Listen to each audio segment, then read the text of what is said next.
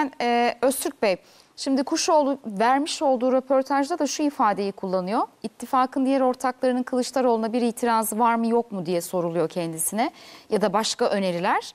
Hiçbir itiraz söz konusu değil, çok büyük bir anlayış var diyor. Yani karşılıklı olarak özellikle meclis seçimleriyle ilgili de sorun yok diyor. Ya ben açıkçası yani biz tabii Yenilik Partisi olarak e, kim olursa olsun o taraftan beni çok fazla enterese etmiyor. Zaten yeneceğiz biz onları yani açık söyleyeyim 2023'te. e, Sizin tarafta o Ben- üçüncü yolda aday evet, maday belirleyecek Yani biz misiniz? biz e, işte daha geçen de konuşmuştuk. Biz kurultayımızda açıklayacağız. Ne Kurultay- zaman? Kurultay yani şu anda iller bitmek üzere.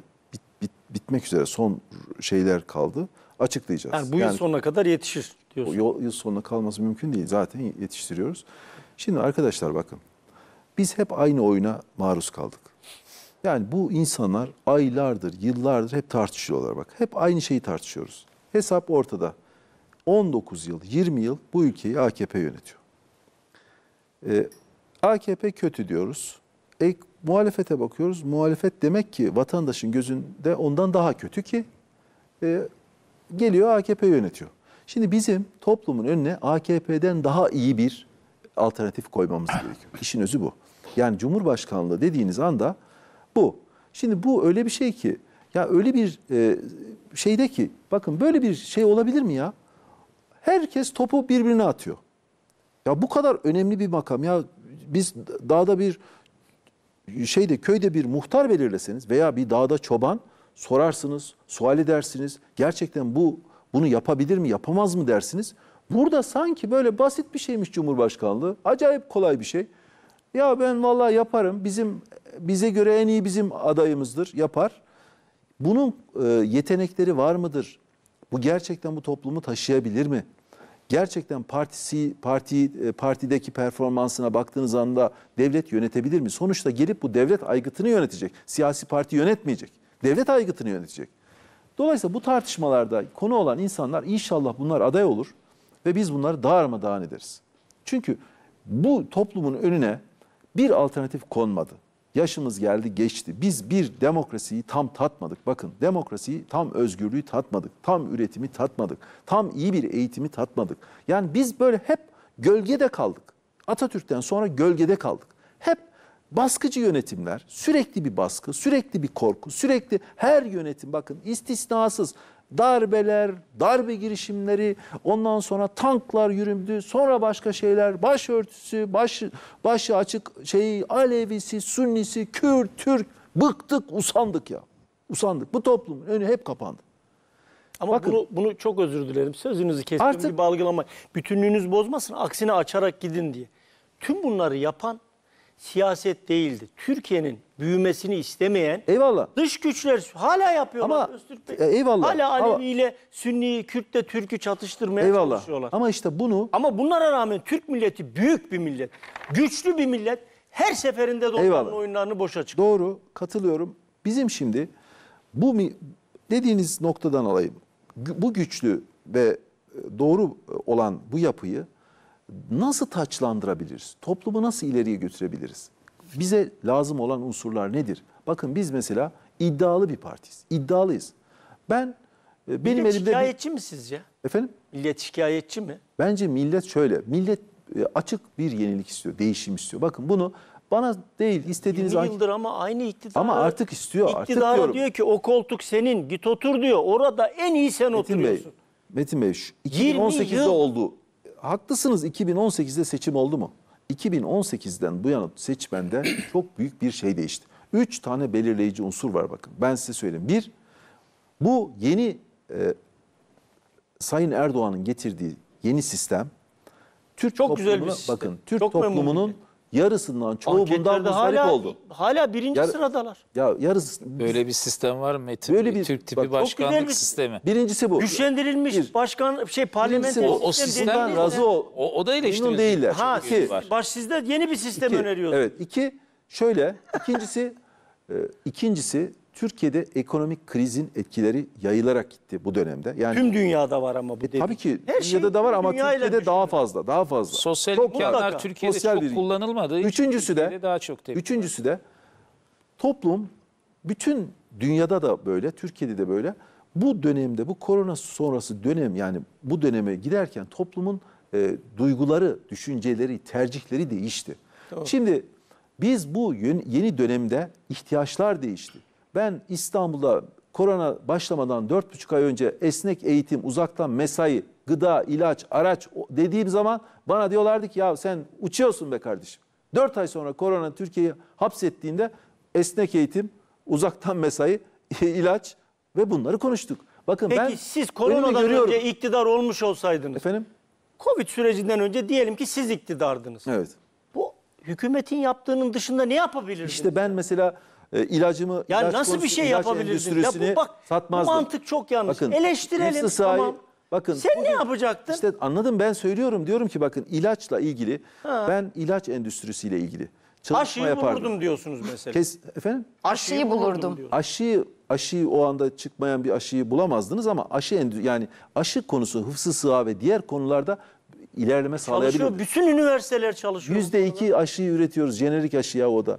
Biz biz bizde şey yok. Yani Ya iyi bakın, de bulamadılarsa ne yapacak? Yani hükümet millet bilim adamlarının gırtlağına yapışıp Hayır sadece aşıyı aşı bulun konusu, mu diyecek. aşı ne konusu da yapacak? değil ya. İlaç konusu genel olarak. İmkanları vermiş bütün üniversitelere. Bulun diyor. Bulun. Bulamıyorlarsa ne yapalım? İşte o eğitim yok. Bırakmadık Ya, eğitim yok. yok. Üniversiteler üniversiteler artık tamamen E idari, bulan da bir idari masraf yapıyor. işte. Ya, Ya bak Türkiye'de- aşıyı bu kadar eleştirenler başta Kemal Kılıçdaroğlu üçüncü dozu oldu. Üçüncü dozu. Ya Öztürk eleş- Bey. ya olsun. Dikkatinizi Ben- çekerim. Aşı yok, aşı yok diye bağıranlar. şey söyleyeceğim. Oturdu poz veriyor. Üçüncü, üçüncü dozu da oldum diye. O şirkette E demek ki aşı Uğur olmuş. Hoca'nın olması Aşı bizim için varmış. bir avantaj. Ya aşı oluyor. Aşı da aşı Ya da bunlar oldu. eleştiri değil. Daha mantıklı Ben işte ayağa mantıklı- yere basan şeyler söylüyor. Tamam ben yere basan şeyler söylüyorum. Bakın ben olsam Türkiye'nin en önemli şeyi Cumhurbaşkanlığı sisteminde yani kişiler şu iki konuda ayrışması gerekiyor. Bana göre bir sen gerçekten küreselci misin yoksa ulusalcı mısın? Küreselciler ülkeleri yağmalıyorlar, ülkelerin kaynaklarına çöküyorlar, ülkelerde kargaşalık çıkarıyorlar, ülkeleri yönetmek istiyorlar, o ülkeleri iktidarı belirliyorlar, getirip muhalefeti de ona göre kurguluyorlar ve ülkeleri taşeron olarak kullanıyorlar, şirketleriyle seçmen kitlesini belirliyorlar, parti kurduruyorlar ve ülke, ülkede adamlar şirketleriyle ülkelerde hükümet oluyorlar. Bundan yana mısın? Yoksa kendi ülkene sahip çıkacak üretimi, ilacını, aracını, araç, enerjini, gıdanı, tohumunu, limanlarını bundan mı? yanayız. Biz İşte milliyetçiyiz. Bu, bakın eyvallah ama işte bunu bakın ben kötü bir şey söylemiyorum kimse. Ya Size de bir şey söylemiyorum. Anladım, yani anladım. Emin Bey'e karşı da bir şey söylemiyorum ben. Bu dönemin kuralı budur. Yani biz ulu daha ulusalcı, daha memleketimizi koruyan, bu ülkeyi koruyan, milleti koruyan, aşı aşı yarın bakın Öztürk, ne üretemedin dediğinde adam bak, diyelim. Ne vermedi. yapacaktınız Bir dediğinde toplu de ölümler bir şey oluyor. sayamıyorsunuz ama. Ta- işte söylüyorum bakın biz aşı şey, ilaç endüstrisini milli yapmak istiyoruz Tamam. A'dan Z'ye. İki savunma sanayi mesela İHA SİHA oluyor. Gurur böyle gurur gururlanıyorum, patlıyorum gururdan. Daha büyük olması lazım. Evet ben doğru söylüyorum arkadaşım. Bu ben, Doğru. benim ülkeme lazım. Eyvallah. İki, iki, limanları özelleştirmek istemiyorum. Limanlar devletindir. Tarım arazilerinin satışına kesinlikle yasak koymak istiyorum. Madenlerin, ham maden satışına yasak koymak istiyorum. Bu ülkeyi yağmalattırmak istemiyorum ben dışarıdaki Ama şirketlere. bu dedikleriniz olmuyor Bir-. Üç. Olmuyor işte. Mesela Hayır hayır bu, bu- bunlar yok zaten. Bunlar yapılmıyor. Olur mu? Zaten Böyle bir şey yok. Neyse zaten. oluyor izleyenler. Daha bir başka konu söyleyeyim. En önemlisi de bakın. Sizin Katar dijit- İstanbul gibi. He? Evet Kataristan ombul olmaması için Metin Bey Türkiye'nin, mayın Arap arazileri İstanbul tarım olmaması yapılsın için. İsrail'e veriyorduk Evet zamanında. bunlar Yani birçok bunlar şey bakın. yaşadık süreçte. Bunlar hepimiz için Ya hep, önemli. hep bak afaki yine aynı şey. Ben Muharrem İnce için de, Öztürk Bey için de ya da diğer muhalefet partileri her için şey yanlış şunu değil, her söylüyorum. şey de Ya doğru işte, değil. Yani bak o bu- açıdan bu- bakmak lazım. Ya ben ben yok, asla söyleyin, ben- ben, as- ben- hemen size Yok, çok buyurun, özür diliyorum. buyurun. Katkı sağlayayım, devam edin. Ben savunma mekanizması yaratmıyorum. Ben diyorum ki konuşurken algıyla olguyu birbirine karıştırmadan gidelim. Şimdi karıştırmıyorum. Mayınlı tarazileri oraya sattınız geçmiş. E bunlar yok öyle bir tartışıldı. dünya. Bakın, yok. Yapılamadı Olmadı, ama olmadı. Bak gündeme geldi bunlar. Olm Hayda gündeme birçok şey geldi. Gündeme uzaya gideceğiz dedik. Dalga geçtiniz. bu ülke- Ay'a mı gidiyorsunuz dediler. Cumhuriyet Halk Partisi Bolu'da ayı heykeli. Bak hemen Cumhuriyet Halk Partisi örneği veriyor. Ya biz CHP'li Evet, değiliz. anladım. Artık başka bir parti. Ama eski Bak, parti- Hemen Sayın İkinizin Erdoğan de öyle. eski partisi Hemen ikinizin de. onun üzerine giderek onun üzerine- Kaçamazsınız. Geçmişi silemezsiniz. Geçmiş- geçmiş- İkinizin de eski Bakın, partisi. geçmişi- Biz zaten doğru yapılmadığı için geçmişi ben farklı bir şahsen yerde, geçmişle farklı bir geçmişimi geçmişimden hep gurur duyuyorum çünkü orada da hep böyle dümdüz Orası durdum. Atatürk'ün Hiçbir zaman partisiydi. Biz yanlış bir orayı yere düzeltme girmedim. imkanımız Şunu olsaydı. bir bitirebilir orada? Siz bitirin bir Orada haklı artık oluruz. konuyu da değiştirelim. Mustafa Biz Kemal Bey'e geçmek Cumhur- istiyorum. Yani sonuçta bu Cumhurbaşkanlığı çok önemli bir makam. Ee, Burada böyle işte yok o böyle birbirlerine latife olsun diye öyledir böyle. Kardeşim bu başka bir dönemdir. Bu dönem öyle normal bir dönem olmayacaktır. Seçim normal bir seçim olmayacaktır. Tarihin en yüksek katılımlı bir seçim olacaktır. Ve daha da önemlisi seçim e, zamanında yani seçim zamanında seçim atmosferinde zamanında girilmeyecektir. Daha erken girilecek. Girmedik mi zaten? Biz zaten aynen öyle girdik zaten. Şimdi dolayısıyla şöyle e, bunlar ne derse desin eskiye rağbet olsaydı bit pazarına rahmet yağardı kardeşim. Olmuyor. Toplum bir yenilik istiyor, bir düzen istiyor, iş adamı rahatlamak istiyor, sanayici rahatlamak istiyor, medyacı rahatlamak istiyor, öğrenci daha e, bir rahat bir atmosfer istiyor. Öğrencilerin çoğu yurt dışına gitmek istiyor. Emin olun sınırları açın, vizeyi açın, gitmek istiyor. Yani niye gelmi niye gelmiyor dı- dışarıdan da buraya? Niye gitsinler?